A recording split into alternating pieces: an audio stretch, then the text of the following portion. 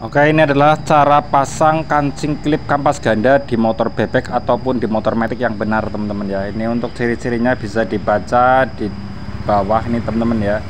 Uh, ciri kampas ganda yang udah habis baik di motor bebek ataupun di motor metik. Nah untuk pemasangannya ya gini jangan sampai kebalik pokoknya. Ini teman-teman ya bisa diperhatikan.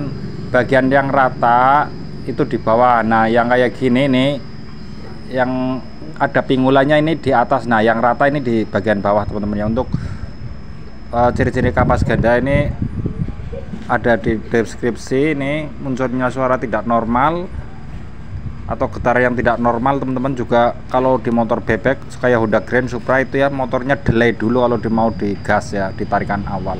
Sama juga kayak ciri-ciri di motor metik teman-teman ya. Kalau kampas gandanya habis. Nah untuk pemasangannya kayak gini teman-teman ya. Jadi kalau pemasangannya nggak pas maksudnya salah ini bakal lepas kancing ini